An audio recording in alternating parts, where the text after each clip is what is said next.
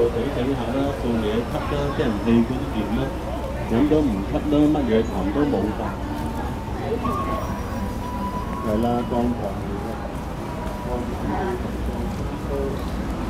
con cái cơ hội của đất chuẩn bị vậy